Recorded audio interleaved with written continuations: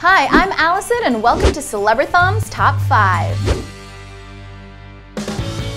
The weather is getting hot, hot, hot, and Hollywood's biggest celebrities are really turning up the heat and making headlines. This week we've got everything from Katy Perry rating her exes to an Oscar that has to be returned.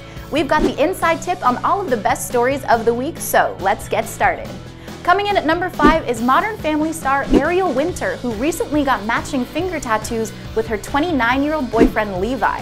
What kind of ink did they get? Well, Ariel got a block of cheese and Levi got a jar of peanut butter. We hope that she's not lactose intolerant because this is nuts. Our number four story goes to Rebel Wilson, who recently won a lawsuit against a magazine company that published false articles about her, saying that she lied about her age, name, and upbringing. She claims that the articles cost her roles and that she wanted to send a message to the tabloids to clear her name. We can't wait to see her back on the big screen in Pitch Perfect 3. Coming in at number 3 is singer Katy Perry, who recently ranked her ex's performance in bed while on a segment for James Corden's talk show. Among the men were Diplo, Orlando Bloom, and John Mayer, but Katy really threw in a curveball when she mentioned a possible relationship with Josh Groban. We smell a secret romance.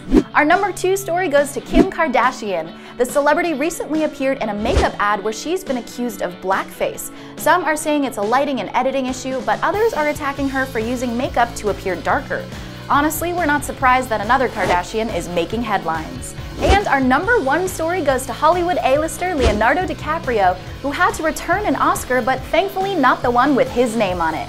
He was gifted Marlon Brando's Oscar by a producer on The Wolf of Wall Street who's tangled up in a scandal involving funneling money from Malaysia to pay for movies instead of their economic development fund. Sounds like a real Wolf of Wall Street moment to us. Thanks for watching Celebrathon's Top 5 and I'll see you next week. Hit the subscribe button now keep up to date on all your favorite A-listers.